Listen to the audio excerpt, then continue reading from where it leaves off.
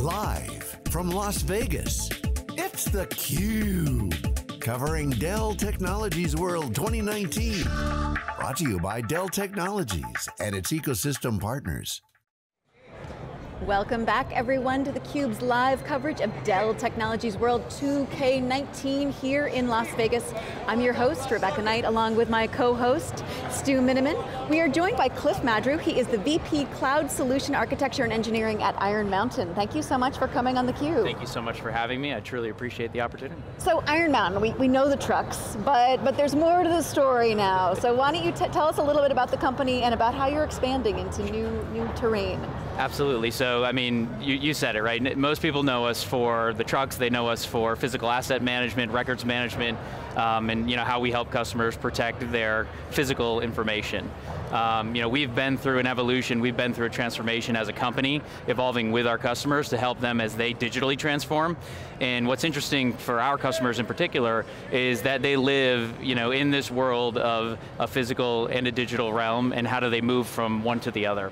Um, and that's where we focused a lot around building our portfolio of services, is helping our customers through that transformation, uh, along with everything that we've done you know, in, in history and through history and our legacy around protecting physical information, we've carried through into our services with a focus on what we call Iron Cloud, which is built around that same chain of custody, that same security for our customers, and we're leveraging a lot of Dell EMC technology uh, within Iron Cloud to make that happen for our customers. So as, as you're transforming, you are helping other companies transform too. We are, we are customer focused and we're moving right along with our customers to help enable them. Yep. Yeah, Cliff, it's been fascinating to watch. You know, the traditional storage industry is now focused on the data more than ever. And you know, we, we hear so many stats about you know, how much data is available, searchable. You know, I think back to Iron Mountain is like, oh, well, for governance requirement or for a legal issue or things like that, I had to retain. Right. But tell us how the, the, the, changing role of data, mm -hmm. uh, you know, you were in a t-shirt that said data deserves better.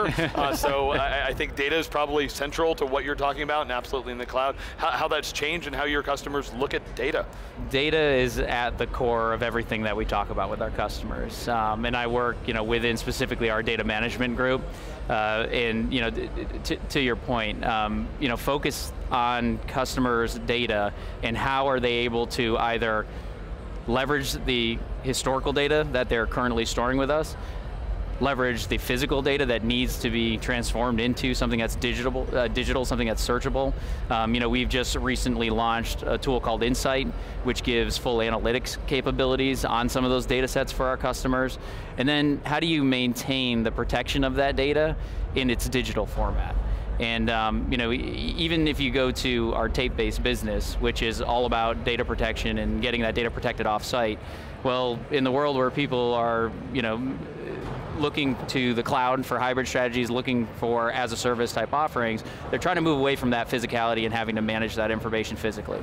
And so, you know, for those customers in particular, we're able to take a look at their data requirements and we're able to help them evolve that strategy to make sure that their go forward in the cloud is meeting the same needs, whether it's compliance, you mentioned, you know, regulation, right, regulatory needs around building out a strategy, our information governance tools around policy management and how do you ensure the appropriate retention of that data while mitigating your risk and not keeping things for too long. All of those play into the hybrid world and in particular into a multi-cloud world, right, which we hear a lot at these shows, is talking about how to leverage you know, best in breed SaaS applications and, and other applications that are either hosted in the cloud or you're migrating workloads to the cloud the same challenges that all of our customers have, have, have really seen with the physical assets that they've managed in the past, those challenges still exist, but in a digital realm, right? And so, so you know, when you think about that, you're now creating these silos of information.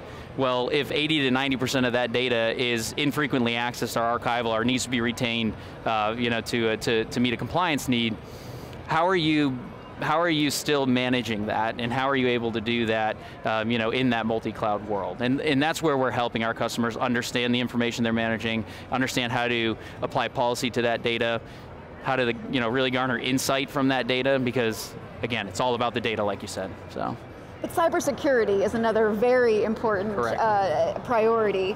Uh, let, let's back up a little bit and just sort of lay the foundation for our viewers about breaches and about attacks. I, I, I, see a statistic here, Verizon Data Breach Index, 28% of cyber attacks were committed by inside actors. We yes. keep thinking about these nefarious actors being from foreign nations uh, and right. these other hostile, but inside, so, so what is, talk a little bit about that. Absolutely. Um, uh, when you start to develop a, you know, we, we like to talk a lot about cyber resiliency.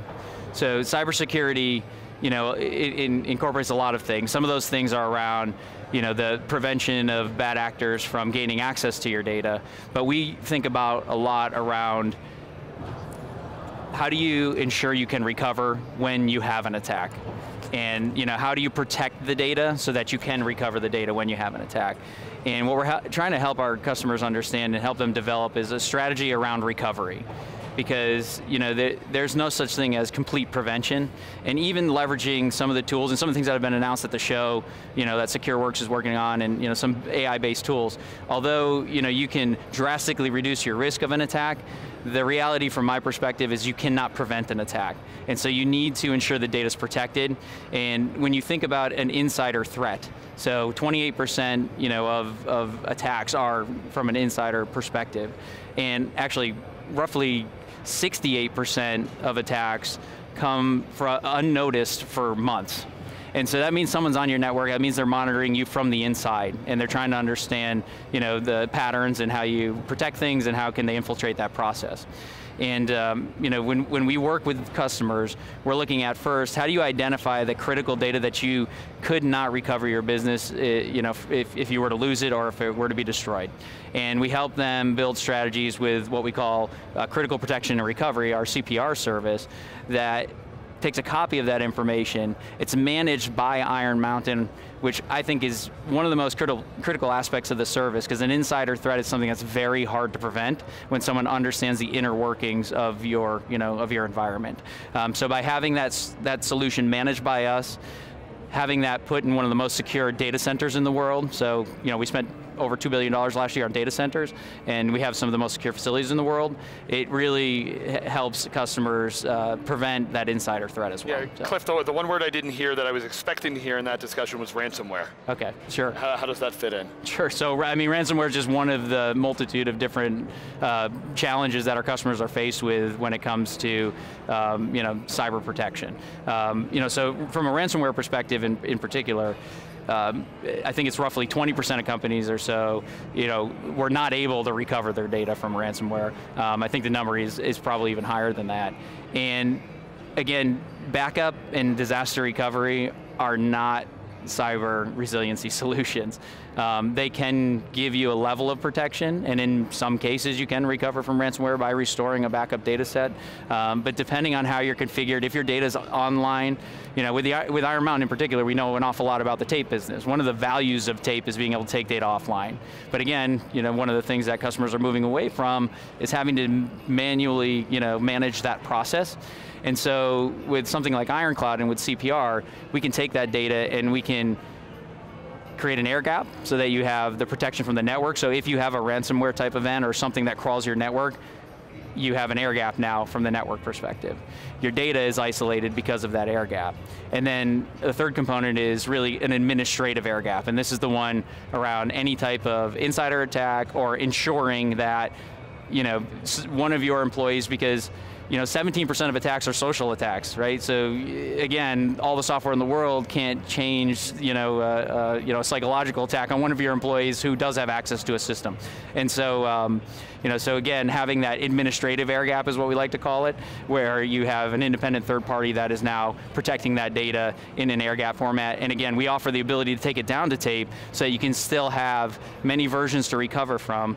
Because if you have, you know, an attack that's been months on your system and you need to get a clean version of a file, now we have the ability to bring that into what we call a clean room. Have that, you can run your forensics on that in a very secure environment, that it get completely isolated from you know, where your data's been attacked, and then uh, you know, bring that data back to recover successfully from ransomware or any, you know, any other threat. Can you give us some examples of customers that are using IronCloud CPR and, yeah. and, and, the, and the business impact that they're seeing? Sure, yeah, so um, you know, one of our more recent customers is an in, uh, insurance provider in the Boston area, and they, you know, they wanted to ensure that the policy data for their customers was protected against any type of attack, right? And that they could always recover that information. Um, in their case in particular, they are data domain user. They wanted to leverage the technology they've already invested in as a, you know, as a, a way to get Iron Mountain the data. And you know, with Iron Cloud, we support uh, CPR for data domain. So we have the ability to take that data and replicate that data to our Iron Cloud, and then you know, offer, offer the air gapping and offer the uh, cyber resiliency solution to those customers. So um, that customer in particular, again, you know, that, that major da database and a couple of databases that had their customer information is what they wanted to protect. And in many cases, you know, our customers don't always know what they want to protect. So we're helping a lot of customers right now understand their data and you know, uh, leverage some of our advisory services to understand what that, you know, what those crown jewels are, what, you know, what it is that we really need to ensure um, is protected from a cyber perspective. And um, uh, you know, we, we're also dealing with a, a, lot of, right now, financial institutions. So, you know, when you get to, you, you know, account information, transaction data, ensuring that that information is protected, you know, again, that's a strong point for cyber resiliency solution from Iron Mountain. So. All right, so Cliff, uh, the expo hall's right behind us over the shoulder here for these people that didn't make it to the show. Give them a little flavor as to, you know, what's the energy been, any cool things you saw, and, uh, you know, any meaningful conversations or talking points you've heard from customers. Yeah, I mean, the, the, the energy is infectious in a good way. you know, it's, it's, it's I, I, I always love these shows, but uh, the, the amount of customers, and Iron Mountain in particular, we have 235,000 customers, so a lot of our customers attend, attend these shows. And to be able to engage with them and have them understand our evolution, we're very well known you know, for our records business, for our shredding business, and not everyone understands the breadth of services that we can offer when it comes to digital information and helping them through their transformation. So some of just the speaking engagements that I've had here, you know, the crowds of people gathering and understanding and following up uh, at the booth uh, to, to really understand more about how we can help and scheduling follow-up sessions so that we can help them through that transformation, whether they're coming off of tape, whether they have critical assets that need protection, critical data that you know, they're interested in CPR for. Um, I've had so many engaging conversations, so it's always great. Well, Cliff, thank you so much for coming on theCUBE. We thank really you. appreciate it. I it was a great it. conversation. Thank you so much. I'm Rebecca Knight for Stu Miniman. You've been watching theCUBE's live coverage of Dell Technologies World. We will see you next time.